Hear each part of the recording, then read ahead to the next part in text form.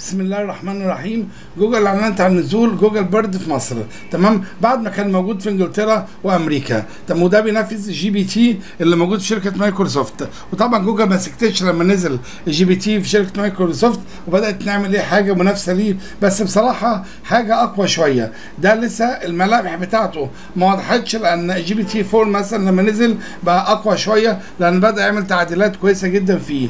جوجل اللي نازل من شركة جوجل بيكون لسه مبدئيا لسه ما نقدرش نحكم عليه دلوقتي. لكن تعالى ندخل دلوقتي ونشوف مثلا هو بيتكلم عن إيه؟ بيبدأ يتكلم عن بس إن هو بيبدأ يعمل لك إيه؟ يعني يقدر يرد عليك بطريقة أفضل وأحسن ولامم أفضل لأن جوجل عنده كمنصة بحثية عالية جدا. اللي بيحصل الكلام ده إزاي؟ إن أنت أصلا لما بتيجي تعمل مثلا عندك هنا في جوجل بتقول له search search هنا ده أنت بتدوخ عشان توصل لحاجة معينة. لا الموضوع هيكون متطور جدا في الفترة اللي جاية مش هيكون في الكلام ده. هيكون في تطوير أعلى من كده لأن أنت هيعمل لك بحث ويرد عليك بالحاجة اللي أنت عايزها بالظبط. وده الجديد اللي هينزله الموضوع بتاع Bard اللي نازل في جوجل دلوقتي.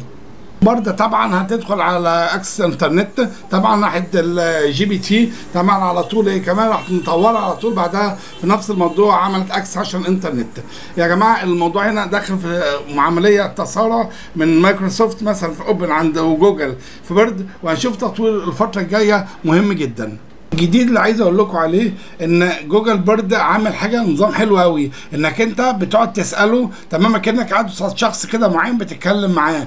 الشخص ده بيرد عليك بتفصيل مهم جدا جدا أنت محتاجه. عكس مثلا ما كان بيحصل مثلا في الأول لما كنت تتكلم جوجل مثلا ينفذ لك أوامر معينة. لكن دلوقتي الوضع مختلف. أكنك قصاد حد بتعمل معاه شات بيرد عليك رد معين. هنشوف التفاصيل دي. لما يبدا العملية تبقى متاحة في الشغل بتاعه. طبعا قدرة Bard على إن هو يكتب مقالات وإن هو يعمل عملية بحث بمستوى عالي جدا وإن بيقدر يعمل نفس اللي كان بيعمله GPT أصبح دلوقتي قدرة أعلى من GPT لغاية دلوقتي. ده الشيء المتضح. لسه لما يتضح أكتر هنبدأ نعرف إمكانيات أعلى في في ال Bard إن شاء الله عن GPT. Google Bard مش معمول عشان خاطر ينافس GPT في كتابة المقالات أو الكلام ده. بالعكس ده هو بيقول لك كمان إن ممكن إن ال GPT بيكون بيكتب أفضل مني في موضوع المقالات. لو سألته هيرد عليك يقول لك كده. لكن في حاجة مهمة جدا بيعمله Google Bard إن بيخلي ال search بتاعك أعلى.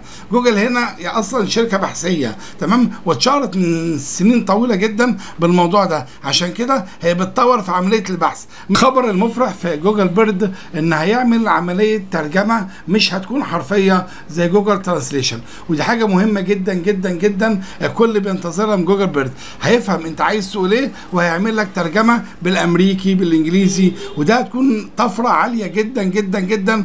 وفي ناس كتير أصحاب يعني اللي هم عاملين البرامج والكلام ده عشان يكسبوا منها وتربحوا منها أكيد هيتأذوا في الحتة ديت. لو طبق الموضوع زي ما Google Bard مثلا بيتكلم عنه إن هو يبدأ يطبقه في الفترة اللي جاية والفترة دي هتكون قريب جدا. الله يكون في عون بتوع ال application بصراحة.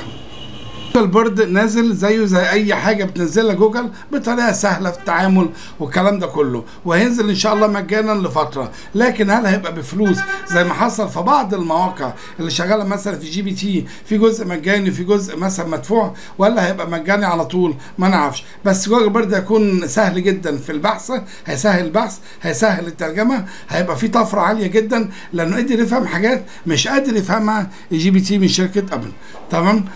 اخر حاجة عايز أتكلم معاكم فيها إن الناس اللي بتستخدم ال GPT في موضوع كتابة المقالات بيشكروا فيه جدا. إن أنا ما عنديش مقالات بستخدمها ب GPT بس الناس اللي بيستخدموا الكلام ده شكروا فيه جدا. بيقولوا إن هي ناجحة عن موضوع ال Bard بطريقة جامدة جدا. بس ال Bard لسه في مرحلة تجريبية بتاعت جوجل ولسه لما تخلص وتبدأ تنزل هنشوف هتنزل هتعمل إيه. بس أنا متهيألي إن جوجل ما بينزلش حاجة غلط وهيكسر الدنيا بالموضوع ده. والمنافسة بينه وبين مايكروسوفت لسه شغالة وفي جديد بينهم بينزل وفي أي حد ليه اي سؤال يقدر يكتب في تعليقات وإن شاء الله نرد عليه شكرا لكم وربنا يوفقكم.